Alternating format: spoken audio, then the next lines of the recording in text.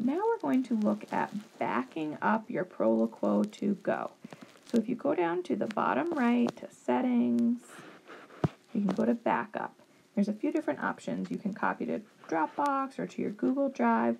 One way that I really like to back up is just through email. Um, I find that that's something that pretty much everybody has. Not everyone has a Dropbox account. Um, so if you want to do some editing remotely and then share it to a client or student, or you just want to have it backed up just in case, I really like doing it through email.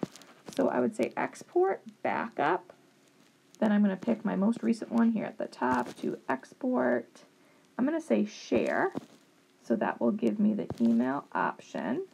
And now I have created um, just a work account an AAC account where I back up all my student files um, so that I can sign into this email on all my student devices and it's not my personal email.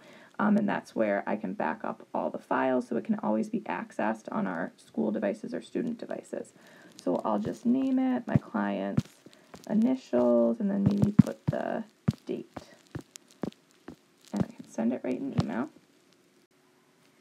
If someone has sent me a backup from another device, or say I'm on my student's device now and I want to pull up what I had emailed, I'll just go into my email app, which I've signed into with that AAC email address.